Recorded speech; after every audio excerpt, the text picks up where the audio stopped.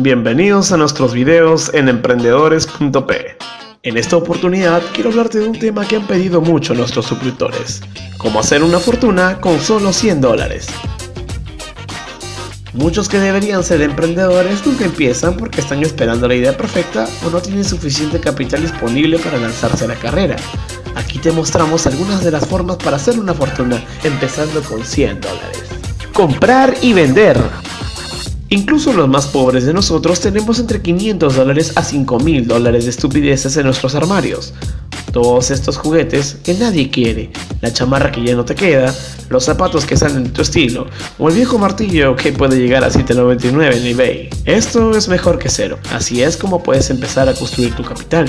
Averigua qué cosas valen, investiga el infierno dentro y fuera de él, devora subastas terminadas en eBay para conocer su valor, conviértete en un experto en esta categoría. Entonces, una vez que conozcas tus productos, conoce el mercado. Compra en Craigslist y vende en eBay. Compra una playera vieja en eBay y regrésala como un artículo de moda en Etsy. Compra en Goodwill o una venta de patio y revende en Facebook Marketplace. Pero debes tener tiempo para hacerlo.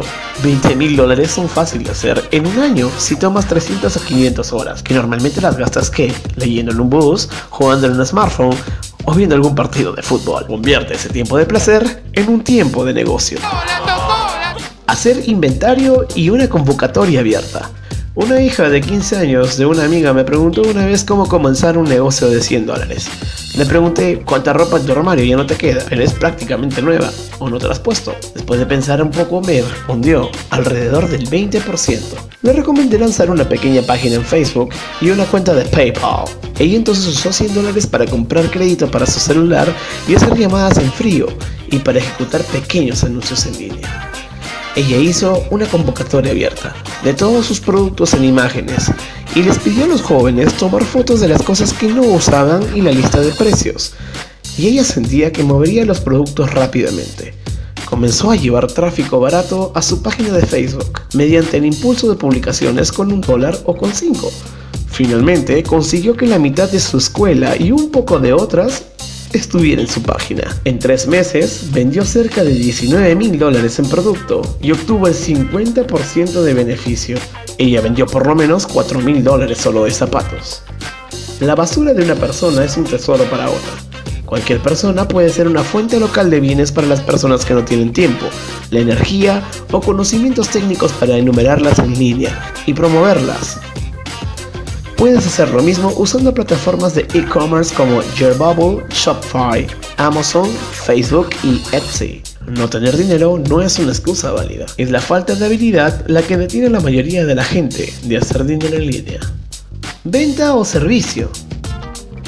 El mejor negocio que puedes empezar cuando tienes 100 dólares o menos es uno de venta o servicio. Todo lo que necesitas es un teléfono con internet.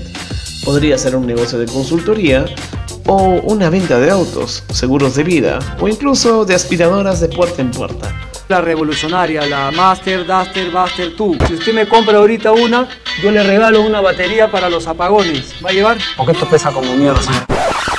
En cada ciudad, alguien siempre te contratará para hacer llamadas en frío y tener comisiones solamente con ventas. Y así no hay riesgo, ya que si no vendes, ellos no te pagan. Probar antes de invertir.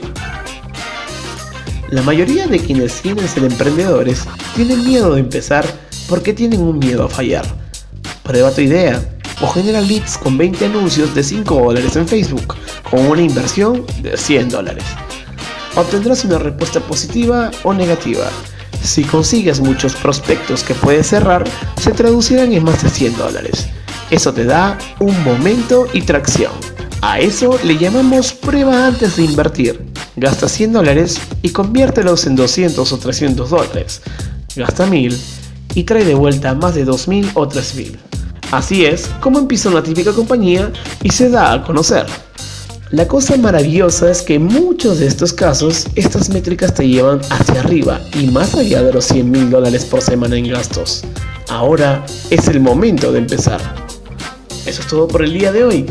Quiero darte las gracias por ver mi canal e invitarte a que te suscribas para recibir avisos de nuevos videos. También me gustaría conocer tus opiniones sobre este video y temas para los próximos videos, los cuales puedes dejar abajo en la barra de comentarios. Nos vemos en el próximo video.